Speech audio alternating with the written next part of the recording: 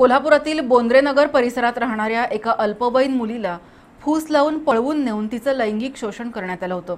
या प्रकरणी अल्पवयीन मुलीच्या नातेवाईकांनी करवीर पोलिसात तक्रार दिल्यानं ओंकार सणगर या युवकाला अटक करण्यात आली आहे.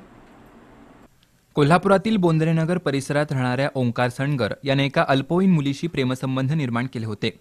काही दिवसापूर्वी त्यानं त्या मुलीला फूस लावून पळवून नेलं होतं. त्यानंतर नातेवाईकांनी त्याचा शोध घेऊन मुलीला घरी परत आणल्यानं या प्रकारावर पडदा पडला होता.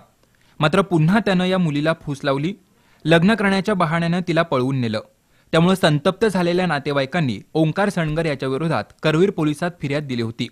त्यानुसार गुन्हा नोंद करून अल्पवयीन मुलीला पळवून नेऊन तिचं शोषण केल्याप्रकरणी ओंकार सणगरला करवीर पोलिसांनी अटक केली आहे.